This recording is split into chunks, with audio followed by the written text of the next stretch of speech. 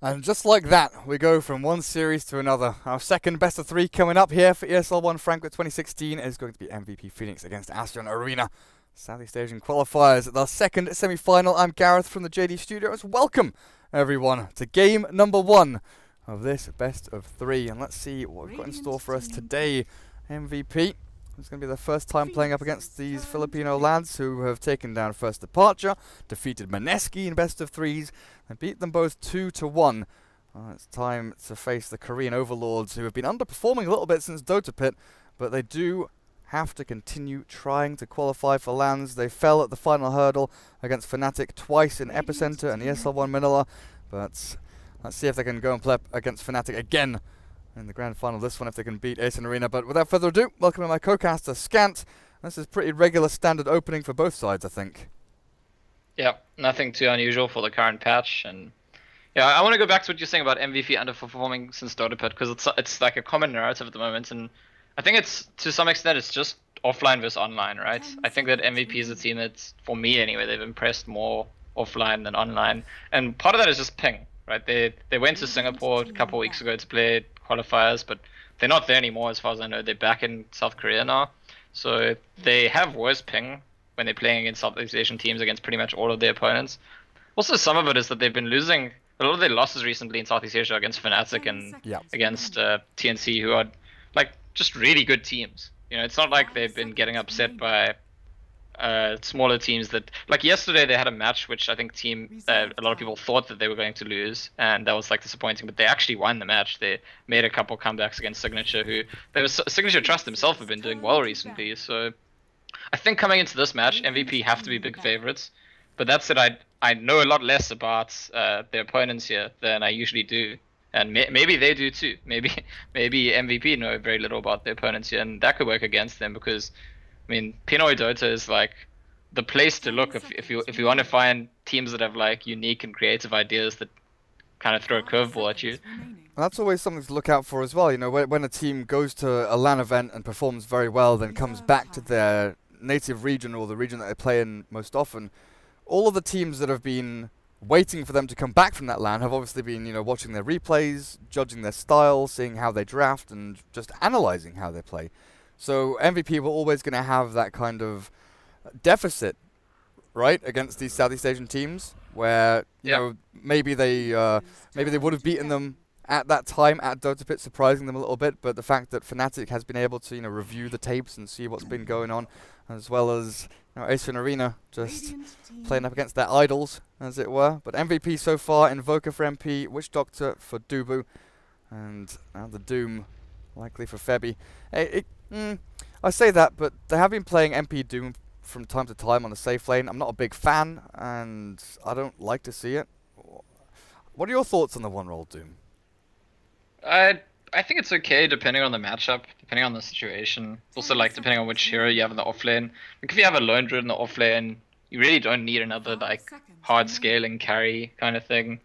Uh, I know that the safe lane Doom back in the day was like an Eternal Envy special as well, um, and there, there was that was kind of like based on the aggressive lineup. They would pick Bounty Hunter and Skywrath Mage and those kinds of heroes would just play on the momentum and run away with the game. And the safe lane Doom can do that.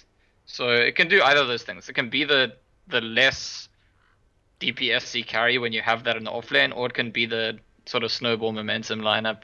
I, I think outside of those two roles, I'd agree with you. I don't really like the idea of it much at all.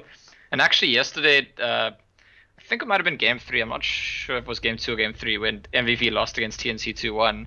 They had a Doom and Invoker in that lineup too, and they got like a 20k gold lead with like Midas on Doom, Midas on Invoker, and then at some point TNC just like turned it around because MVP got all this gold and they just didn't know what to do with it because the heroes they had weren't heroes that like once they get gold they they like automatically close out the game. Actually, they had an Invoker, Phoenix, and a Doom in that game, and they all had Midas and they all had tons of farm and just didn't really end up going anywhere. So what I'd like to see out of MVP today is that if, if that's what happens this game, if they get using Devour and multiple Midases, if they get a big lead, I'd like to see them actually, you know, deliberately do something with it.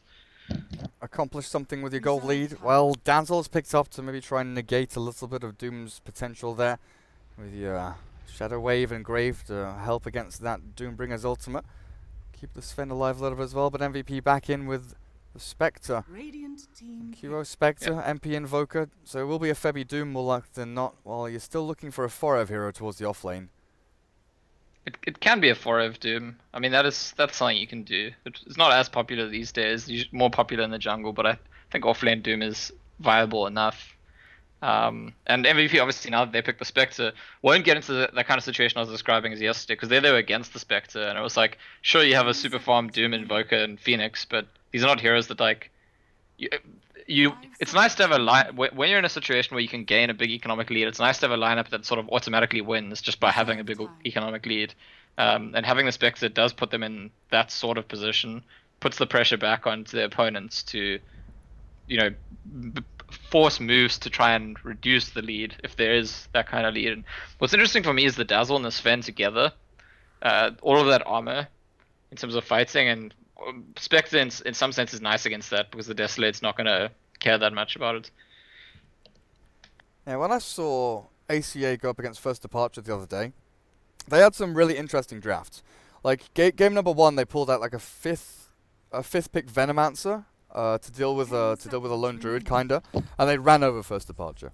They had Nature's Prophet TPing in, they had a Puck very mobile, and Gabby Sven was incredibly strong, but Alchemist here for them. I've seen Alchemist more and more recently in Southeast Asian Dota, and I've seen it run away with quite a few games. There was, oh, I'm trying to remember next now. Generation. Was that? Yes, it was Next Generation who like completely upset that match with pulling out the Alchemist and just out of nowhere almost. But I don't know. Is this is this the Alchemist game? Like, is I I you have a Sven and you have an Nature's Prophet. Is this not a bit greedy about taking resources from the map? Like, I just feel like your whole plan could collapse. You build this pyramid scheme around all these heroes taking lots of farm, and there's only so much farm on the map. And as soon as like there's some holes poked in your strategy, I, I mean, I'd love to see it work. I think I'd be very impressed by it. But you know, maybe they're thinking MVP's draft looks a bit greedy too. Yeah. Doom's gonna take a lot of gold, Spec's gonna take a lot of gold, and Invoker's gonna take a lot of gold.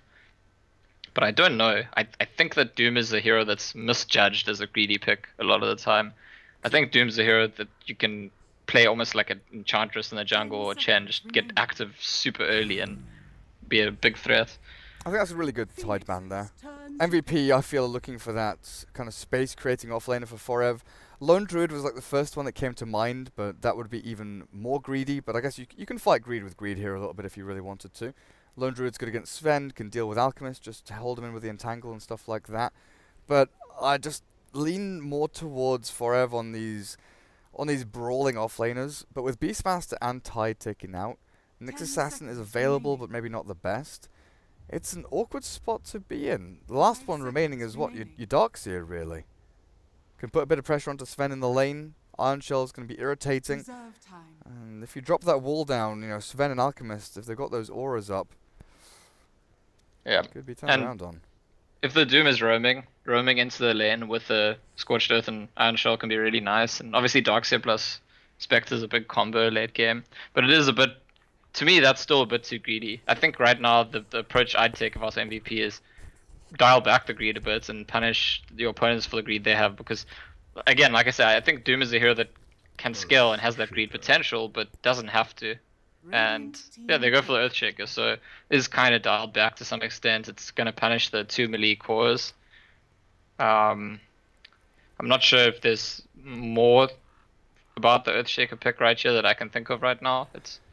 I'm wondering if it signals what Invoker's doing. We've we've seen a little bit of a shift away from Exort. Not not a big shift, just a few players from time to time, depending on like mid matchup and and where they want remaining. to go with the Invoker, going back to the Wex build. And I'm wondering here with Witch Doctor, Earthshaker, and Invoker against an Alchemist mid, if they go for the Wex and just have like Cold Snap Tornado to kill him early and make sure they don't have that Alchemist farming away freely, because right now, oh, this is something we've seen Acion do before, the support Slardar. I do like this. Just keep the Nature's Prophet off lane, have a support Slardar running around. But they need someone who's dedicated to stacking up camps for your Alchemist, really. This is going to be a game where the Radiant side is better at taking Rosh than the Dire side. I feel almost. I, I mean, ACA's draft looks really set up to Rosh. They've got so much minus armor. They've got the treants, and they could take the fight at the pit as well, barring Earthshaker getting that that blink initiation. Um, they've got a lot of. I mean, they've got a lot of armor reduction. They've got a lot of armor adding. So physical damage is is going to be difficult to, to, to win the fight against them for MVP. But luckily for MVP, they they're not their lineup is not that based on physical damage. It's got some, but it's plenty of magical damage too. Five seconds remaining. Well, MVP. Where are you going to pick this Doom? It's Dubu Doom and Febby on the Witch Doctor. That's not something I was expecting. Prepare A for lot of a switch up there. And QO Invoker. Everything's changing. Scant. What? What's what's going on? Yeah, this is something also. I, uh, Kyo played Invoker in the last time I cast in TNC versus MVP, which was like a week or two ago. And it was also surprising to me there because MP is normally the one who's been playing. In, he was the only one who played Invoker for them at the major, I think. I don't think QO played the Invoker at all there. But they've been liking Kyo and the Invoker. And in that game that I did cast played against TNC, they ended up being like a highlight video by a noob from UA with like 200,000 views because there, there was a sequence where he kind of like stopped the enemy team rushing 1v5. Um, and I must have missed something because I see you drawing a picture of something.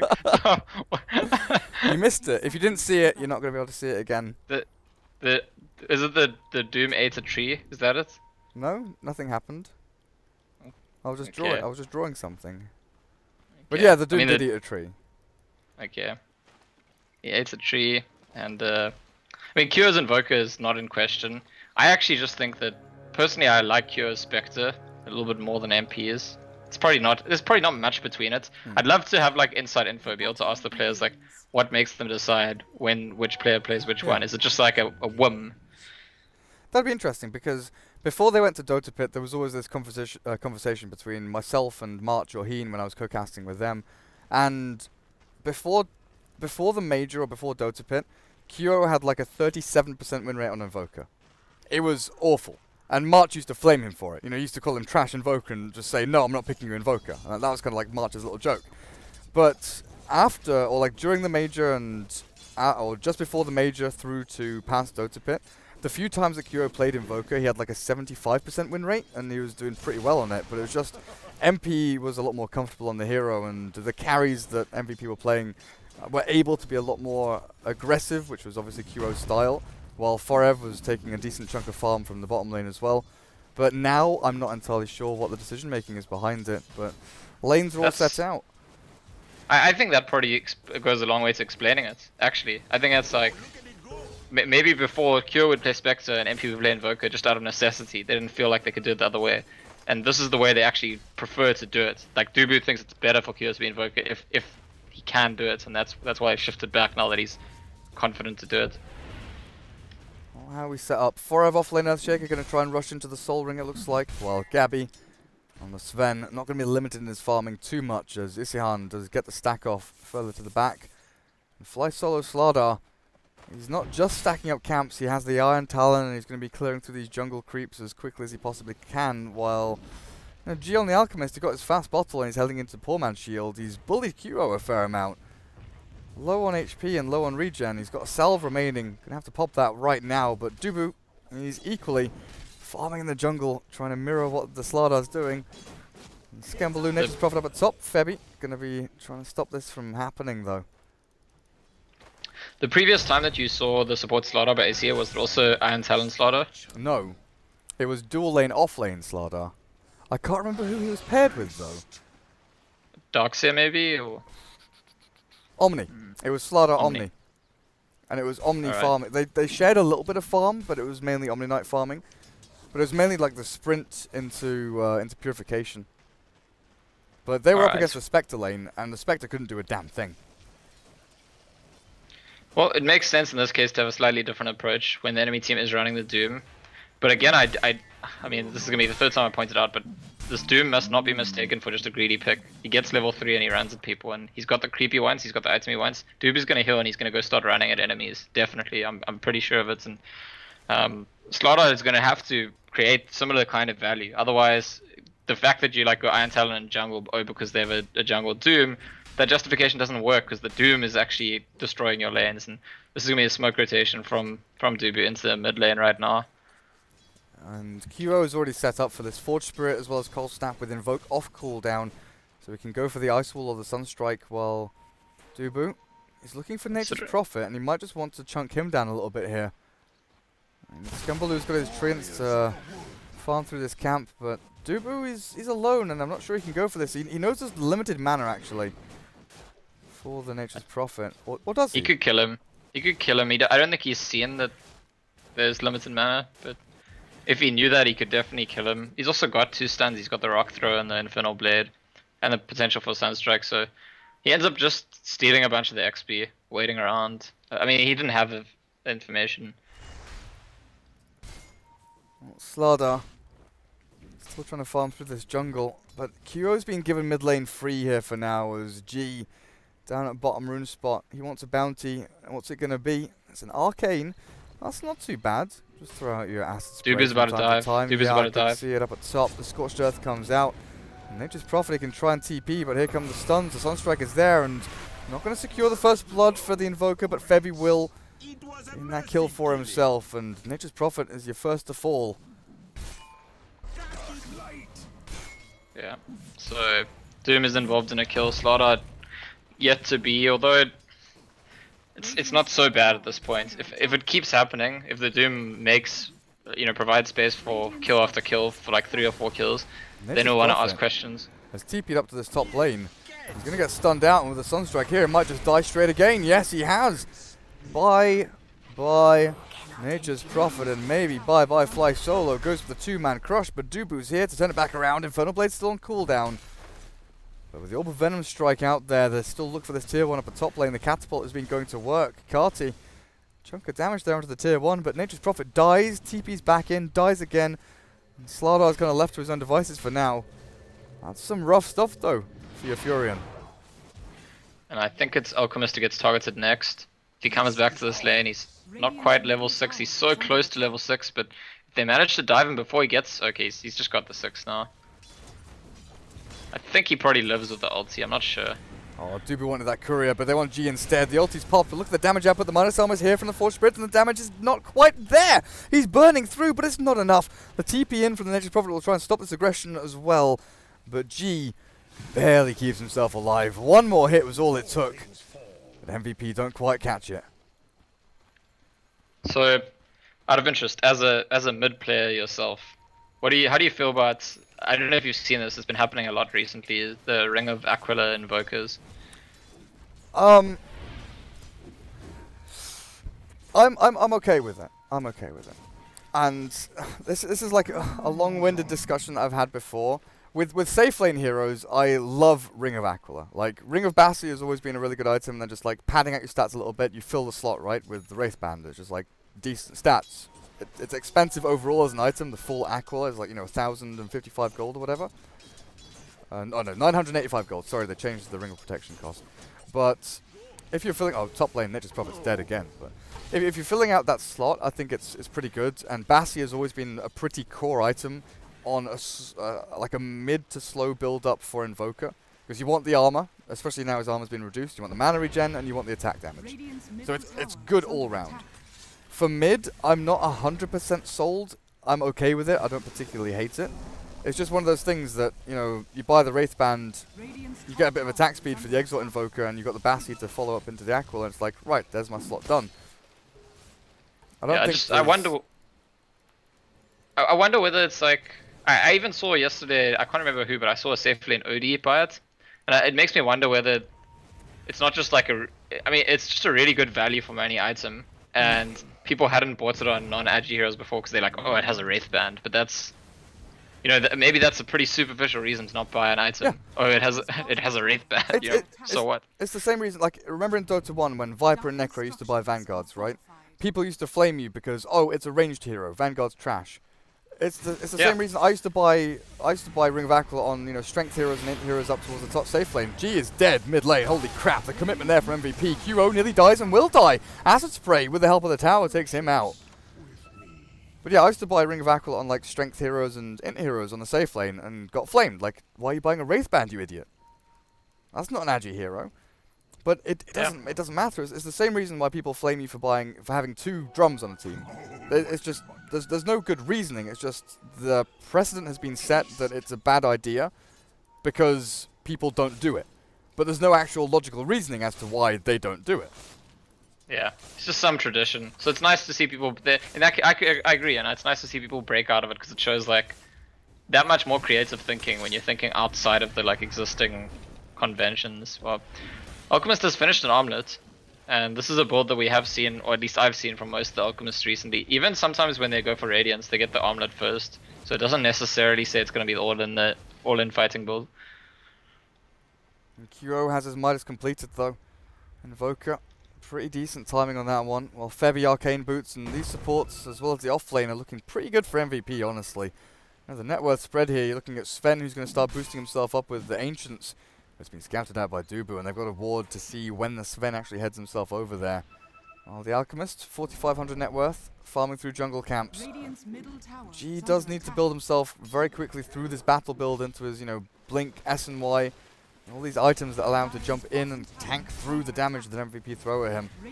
Tower bottom tier 1 is being dropped slowly but surely, but the TPs are coming through from MVP and they're about to start something off here. Dubu is yet to hit level 6, but official to kick things off. The TP in from Febby's Witch Doctor. Cask going to bounce onto anyone, and Dubu doesn't have a way to cut through the trees. The Boulder Toss is going to slow down the retreat from Gabby, but it's not going to be any further damage here from MVP Phoenix because QO wasn't available to join the fight.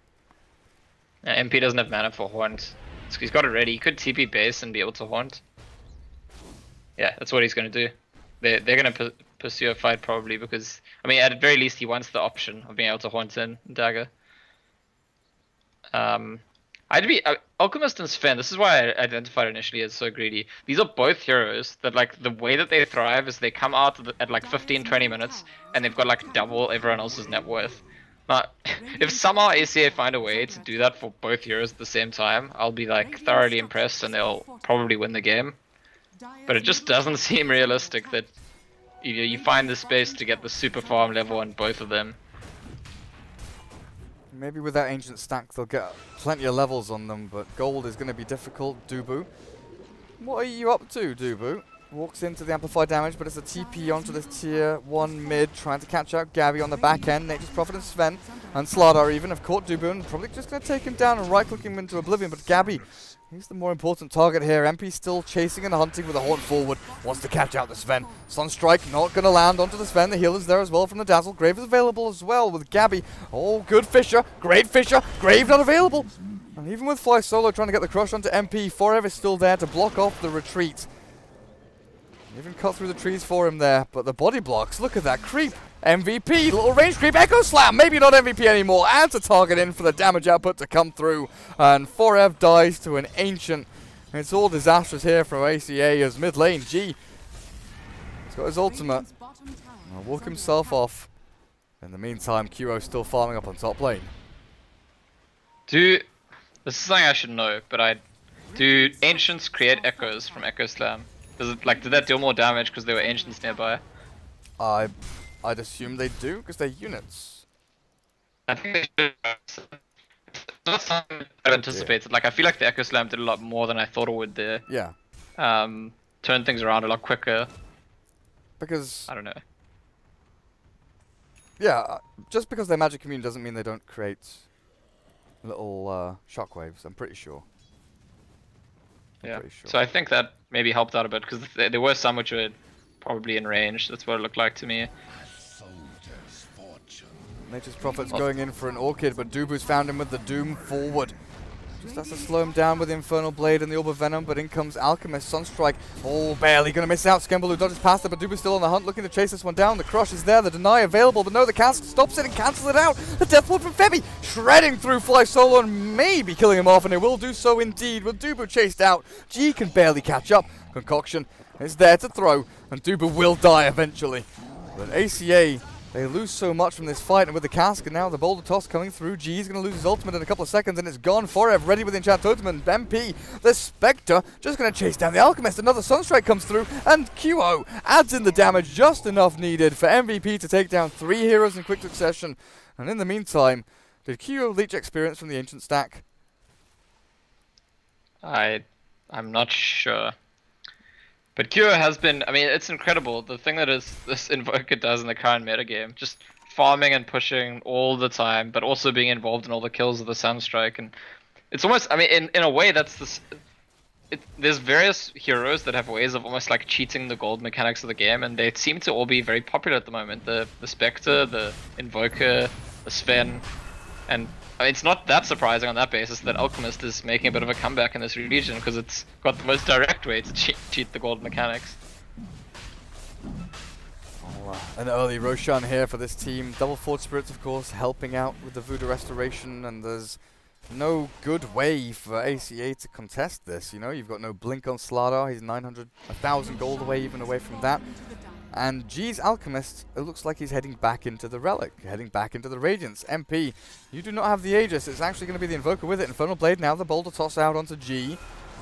Dubu having difficulty sticking onto a target. QO just needs to throw a cold snap or something. Catch out, fly solo, and that's what they'll do. Swipe him down. One more hit from Dubu's sword, and now the haunt comes through. Isihan, Dazzle, easy target, but they want to go for the Alchemist instead. G slow down by the dagger, and they want to catch this one out. Alk, do you have the sustainability with your ultimate expiring in one second's time? It doesn't look like you do. Ooh, Febby, where's your Death Ward? Arcane Boots and Stick Charges available. The stun, the grave keeps him alive. The Death Ward is now finally down, but G's still alive. MP dives in. There's no urn here, and with Gabby, Gabby?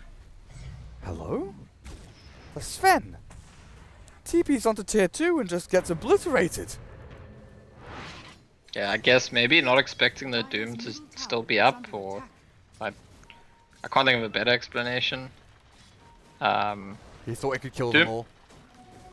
Yeah, you just have those visions. Like, if you're a Sven player, you ha you have those visions of I'm gonna go in and just cleave everyone in two hits. But yeah, not quite at that point yet. And it's really important that MVP are keeping up this this like persistent aggression. I think the the lineup that ACA have and the way they're playing it, if they're just if the game became passive for five minutes, literally five minutes, all of a sudden the Sven and the Elk would be huge. So it's it's very important MVP are just rolling with the momentum and almost non-stop aggression in this game, and certainly they are the right team to be in this position where what's needed is aggression. They've they're pretty comfortable in fulfilling that role. Uh, slow down this Radiance. Slow down the Orchid heavily. The 1, 4, and 3 Nature's Prophet having difficulties while, well, Slardar caught by the 4 Blink. This Earthshaker solo kills him.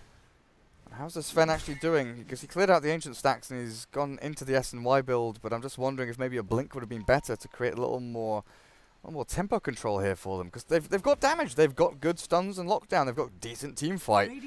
It's just ways of getting in and out of these team fights that's the difficulty. Because Dubu's always been the ones on the front lines running. He literally just sprints towards people. The Doom just walks towards you, pop, put, you know, pops on scorched earth and says, "You know what? You, you you run away now. You do not belong here anymore." And if you try and turn and fight him, he dooms you. Yeah. I think he definitely wants the blink. I mean, I just think the progression on Sven is meant to be. He's not meant to have that much pressure on him. He's not meant to have those two deaths because they have the Ulk as well, and they both get more pressure than they normally do. And Sven at 16 minutes would actually want to have the S and Y and the blink already. I think most of the time. Oh, Gabby still has a lot of work to do. As Fly Solo, still 900 gold away from his Blink Dagger. They need that Slardar to get that initiation tool. Well, uh, wh- what we're looking at here? QO nearly has Aghanim Scepter, or does he have it done? He's 500 gold off it. Dubu, Drums and Tranquils, probably head into like the Vlads or something like that, but he's being pinged out by the rest of his team now. Oh, no, no, sorry. He is the one pinging out for the rest of his team to come and come and sit with him. So he's going to get jumped on in a second with a Sprout into Concoction. There's a lot of damage here from G, and Dubu trapped in the trees. Good heal bomb as well from Isihan. Once they clear up that Doombringer. I'll finish the Radiance for Ulk. And really interesting they go for a smoke when Alchemist is like 300 gold from Radiance. You expect the carry player to be like, guys, let me finish my item. But so they see a good opening. Dubu kind of saw it too, but maybe didn't make the right. You know, he was like, come reinforce me. I think maybe it should have been, I'm gonna go back. They're probably all coming. Yeah. I think at this point you you're assuming level four scorched earth and you know tranquil's drums. You're tanky enough to deal with it. Just that treant block from the Nature's Prophet with a heal bomb was so good from ACA. But QO, he has had a relatively free game so far. 18 minutes in, 11,000 net worth. He's outstripping the Alchemist at this point with the Midas just you know flowing freely here. The goal just keeps coming into him, and now looking for a tier 2 of his own. Oh, he's literally pushing solo. Of course there are heroes behind him, but there's no one to stop him while... Okay, Nature's Prophet dies on top lane. I just want to pay attention to this mid-fight that's going to kick off soon with a Fissure. Maybe a Blink Enchant? Nope. Forever. Not going to go in too deep for that one. Yeah. I mean, I, I think that the bot lane Dubu was probably expected to tank a bit, but at the same time, this is a game where he's not going to tank. He's just Doom is known to have low armor. I would be wouldn't be that surprised if he went for one of those blue ogres just to boost his armor because you're against a dazzle and an alchemist and a Slardar. Like there's there's always going to be huge armor reduction going on. And your two, th uh, your three, four, and five rolls can make solo kills. Like Spectre's not even needed here. Come in for a bit of a help, and now jump back over towards the Slardar as well. MP chasing this one down with the drums popped, but fly solo safely behind the tier two for now. But yeah, your your three, four, and five rolls can go and make kills on the one roll, two roll, three roll, and any roll they want to. With the Spectre able to jump in and the Invoker having that global Sunstrike as well, your one and two for MVP can be anywhere on the map. And the other It's three can just go roam into people. It's actually so important that the heroes that they have are those two, the Invoker and the Spectre, because it's the only way that MVP can consistently sort of keep up with the farming game, but also play the aggression to, to like pressure the enemy team's farming. Precisely because these heroes can just be farming non-stop and still involved in the kills. ACA, this Radiance on the Alchemist has got to build him into bigger and better things. With the Boots of Travel, I wonder if he goes back into that kind of Manta Octarine build and just split push and pressure as much as he can, because MVP at this point, they are pretty hard committed to taking full map control and dominating the rest of this game. Roshan, I see when he's back up in about two minutes time, but MVP take down another tier 2. Febby claims the gold from it. With 2,000 gold top of Arcanes and Mech, these are these are game-closing items, Scant. These, these are heavy indicators that MVP just want to say, screw it, we're finishing the game, you have no chance to farm your Alchemist. We're ahead, we're staying ahead, your throne's going to die. Yeah, it's the right move. Like Alchemist's net worth, he's he's very rich right now, but the items he has are not really the ones he wants fighting. Oh, good stun, the cleave through, but a full step back on Adubu, healed up by Febby as well, and Gabby, Death Ward dropped on his head.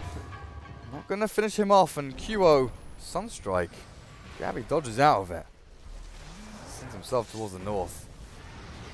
Still looking at Echo Slam in 15 seconds. QO can invoke back his Forge Spirits and turn it back around onto G, who's aggressively walking up into the high ground with the Ice Wall down.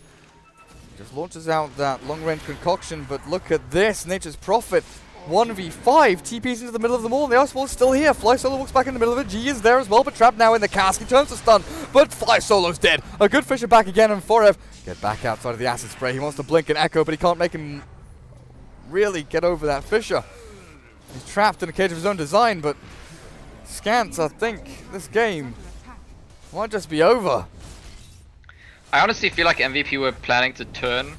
I think they were running away, planning to turn, and then the Nature's Prophet TPs into their backlines, and they're like, they, you know, it's just almost too good to be true. Like, we, Sven didn't have God Strength; he'd used it at the in the original initiation. So, I mean, he still doesn't have it again. So MVP more than happy to just keep going. Well, the Echo, forever. You okay there, mate? Slardar's dead, but buyback available for the Alchemist. Sven drops. ACA being molested inside their own base pretty much here as their axe will fall down at bottom lane. The tier 3 middle will probably drop as well. MVP lost their courier. To Nature's Prophet, I guess? Radiant's middle tower is under attack. Yeah, I guess it must be, but uh, not a big deal in the bigger picture. I mean, if they manage to get two sides of Axia, that that's pretty pretty game ending. Yeah. I've never heard that line before, but Alchemist buys back and he's like, that's not a Radiance. Cute little guy. The Guardian Greaves from Febby. Just no one is dropping low here for MVP, and ACA, they have such a hard road defending this. Rax defending their throne, defending their own lives as Fly Solo jumped on the Grave is there from the Dazzle, but there's Cask bouncing back onto them. Tornado will catch him perfectly, and ooh, not quite perfectly, but still with the Maledict from Febby. They clear up yet another kill. An MVP take down a second laner Rax here, 22 minutes in. Clearing through one after the other. Gabby finally gets himself into the thick of things and kills off the Witch Doctor, but he's stuck in the ice wall. He can't move himself out of this one. He's got no blink either. With that meatball thrown out, it's time to retreat. MVP will be happy with what they got. Again, if, if you look at the net worths, like the individual net worths, not the overall net worth, If you look at the net worth, Sven doesn't look that far behind. Alchemist doesn't look that far behind. The problem is that these heroes, the way they work, they're supposed to be very far ahead. The Alch is meant to have a 4k lead on the Invoker, not the other way around. The Sven is meant to also have a 4k lead on the Invoker, not the other way around. And Sven right now is meant to have Blink and BKB, not just the Blink. He's meant, like, the BKB should be complete, like, almost absolute minimum in his progression. But he's only just starting to farm it. And I think that this setup, the more I look at it, this Sven and this Alch, like, getting to their timings, I think against most teams, they probably get away with this. I think they've done a good enough job that the reason that it's not working out is because MVP are just so good at getting that aggression going early on in the game and then keeping it consistently going. It, it, it doesn't look like the game is close, but if we go back to that 10 minute mark, if MVP had laid off for another 5 minutes or so, ACA party hit their timing. So it's it, it really is like there was a close window early on, and now that MVP kind of hit that window and kept going and going and going, it looks like they've completely run away with the game. But there was a point where this game party was kind of close. Yeah. That Alchemist with that armlet. Looked like he was going to get the decent timing on the Radiance. Dubu. They tried with the Haunt G. Not going to get stunned up either.